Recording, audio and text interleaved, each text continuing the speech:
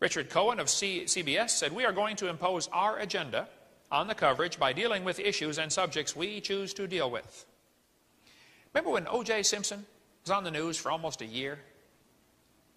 This was done intentionally to divert our attention away from the fact with what was happening with China being given the port in Los Angeles. Chinagate was going on. They didn't want us to know about that, so they focused our attention on O.J. Simpson. Somebody said he's getting married again. He wants to take another stab at it. Uh. Richard Salant, the former president of CBS News, said, Our job is to give the people not what they want, but what we decide they ought to have. New York Times is deliberately pitched to the liberal, read that socialist, point of view. Said the foreign editor of the New York Times, he ought to know. News reporters are certainly liberal and left of center. Walter Cronkite's one of the best of them as far as left as you can get, okay? By the way, opposite of right is not left. Opposite of right is wrong. Mm -hmm. The news media in general are liberals. Okay? Number seven, destroy people's faith in their leaders. Lenin, or Stalin, is attributed with this statement. He said, Those who cast the votes decide nothing. Those who count the votes decide everything. Number eight, cause the registration of all firearms so that you can eventually confiscate them. Lenin said, One person with a gun can control 100 people without one. Now picture this. You're standing there in the bank to cash a check.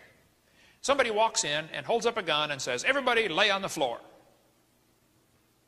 Everybody lays on the floor. Now, picture this. Every red blooded, honest, God God fearing American citizen is packing a gun. He's not looking for trouble. He's just, he just has a gun, just in case, you know. The guy walks into the bank, pulls out a gun. Everybody lay on the floor. Instantly, 80 guns are pointed at him.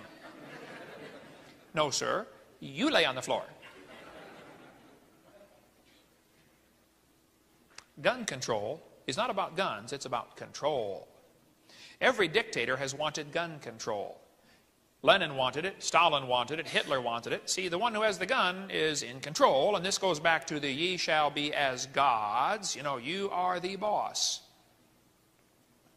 Goes right back to that, folks, okay? Don Boys, good friend of mine, said gun control is not about guns, but control. Don said, You might be a liberal if you don't trust honest Americans with automatic weapons, but you do trust the government with them. You might be a liberal if you think guns are the cause of crime, but you don't think machine matches are the cause of arson. You might be a liberal if you think death penalty is government sanctioned killing, but you don't think a prison sentence is government sanctioned kidnapping. I like this guy's thinking, okay? Our founding fathers gave us the Second Amendment, which says, a well-regulated militia being necessary to the security of a free state, the right of the people to keep and bear arms shall not be infringed. They gave us a Second Amendment so we could protect ourselves in case the government went bad. That's what it's for. See, the bad guys are not afraid of a few hundred people with guns. But if everybody's armed, it's going to be hard to take over a country if they know everybody's armed. Now, I told you in other session that a lot of animals that eat grass have horns. You don't need horns to eat grass. You need horns as an education tool to educate the lion to stay off your back so you can eat the grass. That's what the horns are for, right? If the lions held a conference to outlaw horns on animals, they said it was dangerous to allow these untrained animals to have such dangerous weapons. They cited several examples where some animals had been accidentally uh, accidentally been harmed by horns. You know, I bet if the Lions could vote, they would vote that nobody should be allowed to have horns, wouldn't they? I bet they would. That's what happened when the guys got shot in Colorado. Liberal news media right away jumped on the gun control issue, and we covered all that earlier. And the issue is not about guns, folks. The real issue is should we have public schools, okay? Should we teach those kids evolution? And that's what happened in Colorado, okay? Hitler said, is at least, this is one quote I've not been able to prove, but I've had several folks tell me it's true, but I can't find it yet. He said, this year will go down in history. For the first time, a civilized nation had full gun registration. Our streets will be safer, our police more efficient, and the world will follow our lead into the future. Janet Reno said gun registration is not enough. Waiting periods are only a step. Registration is only a step. The prohibition of private firearms is the goal. Ohio Senator Metzenbaum said, What good does it do to ban some guns? All guns should be banned. Sarah Brady of the Brady Bill said, Our task of creating a socialist America can only succeed when those who would resist have been totally disarmed. Bill Clinton said, and we should. Every community in the country could then start doing major weapons sweeps and then destroying the weapons, not selling them. And I misspelled his name on purpose to give it the Soviet flavor, okay? Did you know in the first 12 months after gun owners in Australia were forced to surrender 640,000 guns to the government, they destroyed them. The program cost the government $500 million. Well, after that happened, in the first 12 months, homicides nationwide were up 3.2%. Assaults went up 8.6%. Armed robberies went up 44%. In the state of Victoria, homicides with firearms are up 300%. Figures over the previous 25 years show a steady decrease in armed robbery with firearms. There's also been a dramatic increase in break-ins and assaults of the elderly. Hmm. In 1911, Turkey established gun control. Later, one and a half million Armenians, unable to defend themselves, were slaughtered. In 1929, the Soviet Union established gun control, and for the next 30 years, 20 million dissidents, unable to defend themselves, were rounded up and slaughtered. 1938, Nazi gun control said Jews are prohibited from carrying firearms and ammunition.